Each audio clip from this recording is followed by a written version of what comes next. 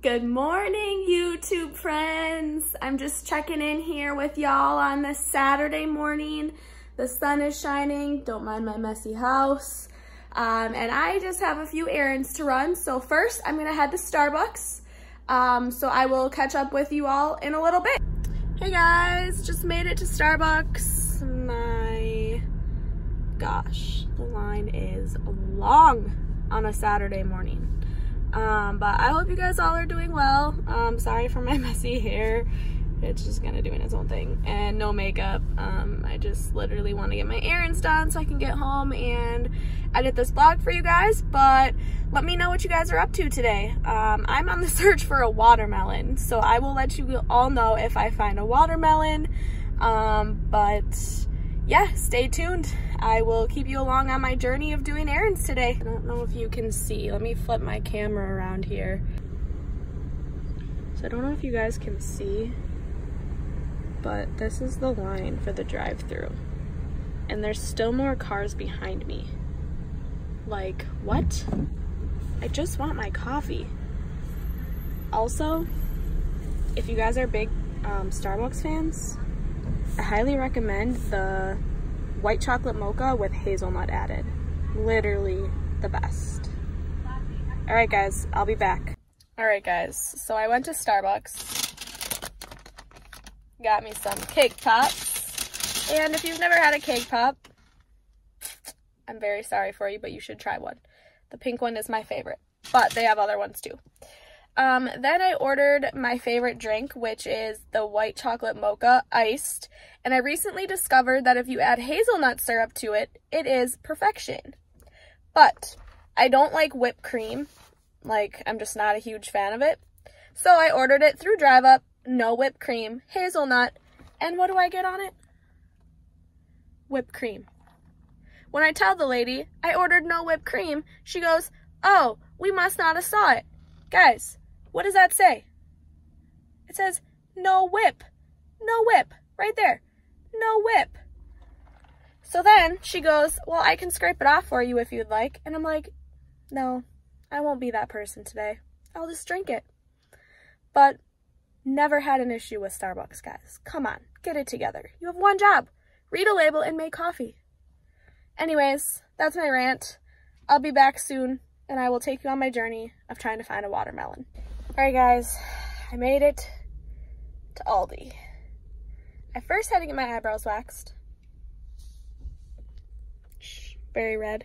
So keeping these bad boys on for now.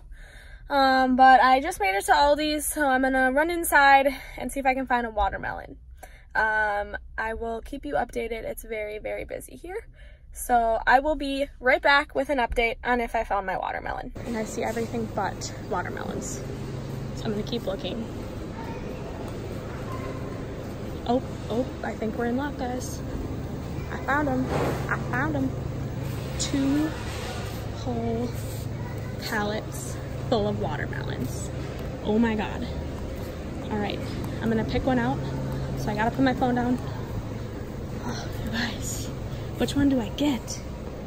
Oh, they all look so delicious. I don't know, you guys. All right, I'll be back. I gotta figure out how to lift this and I'll be back. Hey guys, welcome back. So I just got home and I got my watermelon. Yeah. I went to like three different Aldi's here because nobody had watermelon.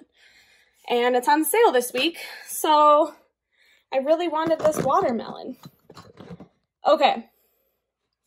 So I'm here. Alright, sorry guys, bear with me here. Trying to set you up here.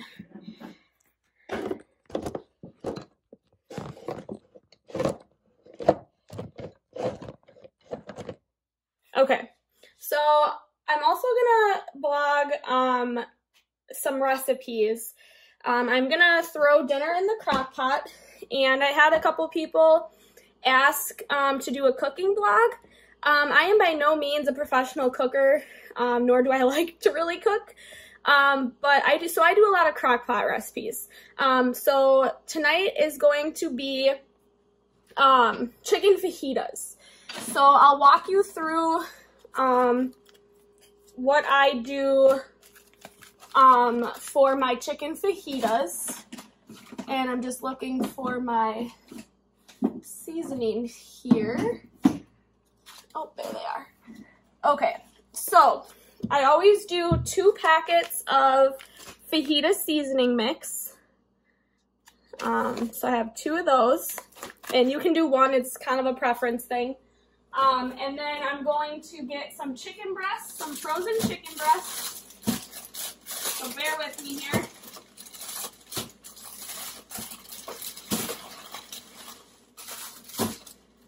Okay. So I got some frozen chicken breasts. And you can do more or less. Again, it's a preference thing. Um, however many you like. Um, these are more of like a chicken thigh. So we're not going to do these. We're going to do the actual chicken breast.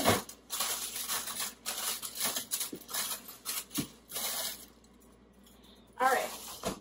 So then what I do is I take the chicken breasts and I usually always do them frozen.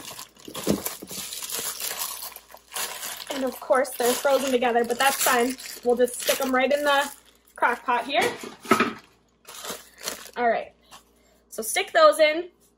Then um, we'll add our, I add one packet of mix on top of the chicken. So I'm just gonna throw this in here quick.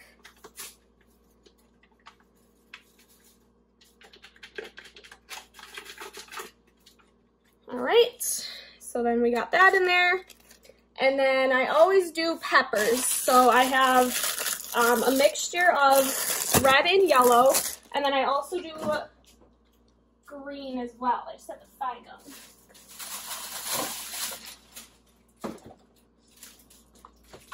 All right, so we got some green onions, or peppers, green, yellow, and red. Okay, so now we're just gonna cut these up.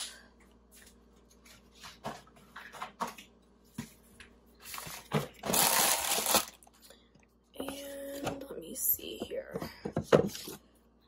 All right, so I just um, cut them, obviously, um, just in half um, I keep them long, but kind of not super thin.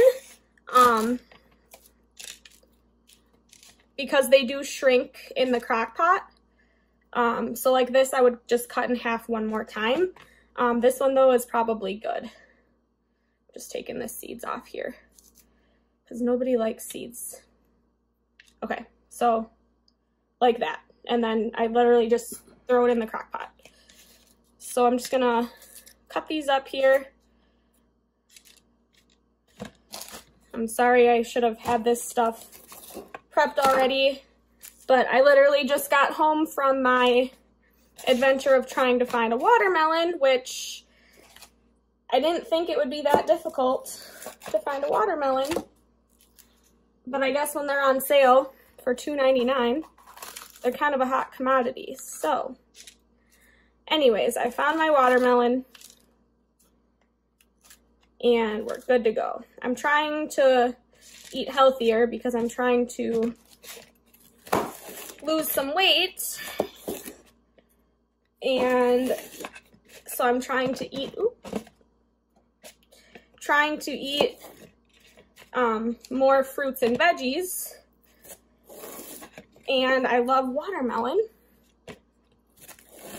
All right, so let me just so, so you can put in as many peppers as you want. Um, you know, obviously, the more you put in, um, you know, the more it's to make. Um, so I guess it really kind of just depends on how many people you're feeding. Um,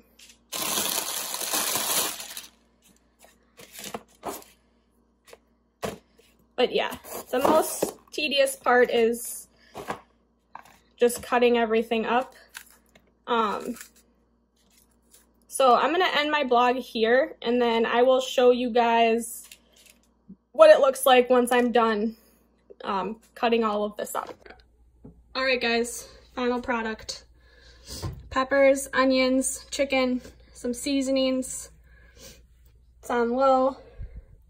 I'm gonna put the lid on and we're gonna let her cook. So I'll show you the final product tonight and how it turns out. Hey guys, welcome back to my vlog.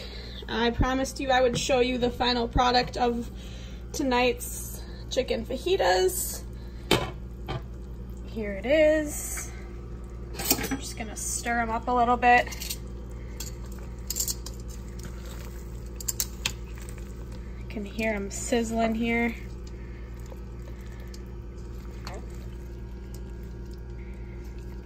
See that chicken is getting nice and tender.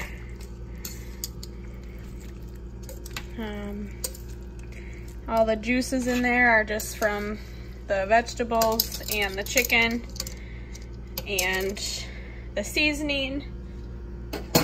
Um, but it's as simple as that.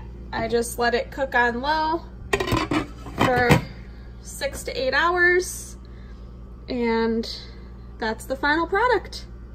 All right guys, so that is my Saturday.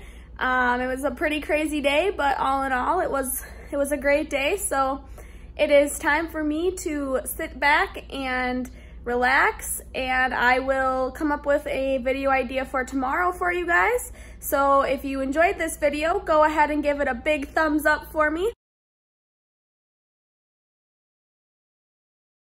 And be sure to hit that subscribe button.